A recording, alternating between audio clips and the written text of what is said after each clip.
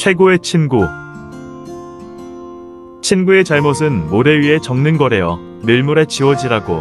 친구의 고마움은 바위 위에 새기는 거래요. 비바람에 견디며 영원히 기억하라고. 친구의 눈물은 구름 위에 올려놓는 거래요. 힘들면 비 내릴 때 나도 같이 울어준다고. 사람이 더불어 살아가다 보면 다른 사람으로 인하여 섭섭한 일도 생기고 고마운 일도 생기기 마련입니다. 대부분의 사람은 고마움은 빨리 잊고 서운한 감정은 오래 남겨두는 것 같습니다.